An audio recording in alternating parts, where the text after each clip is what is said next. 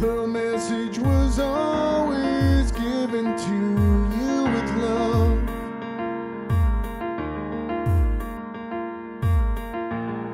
But I could have shared it in a better way.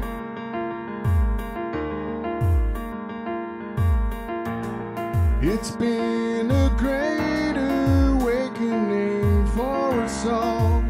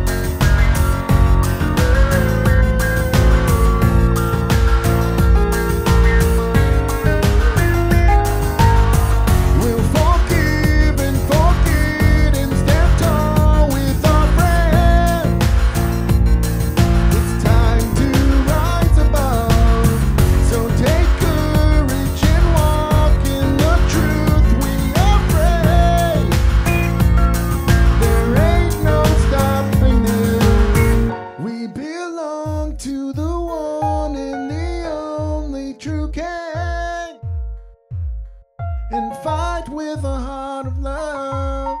We're no longer a captive, we're forever free. And I want you here with me.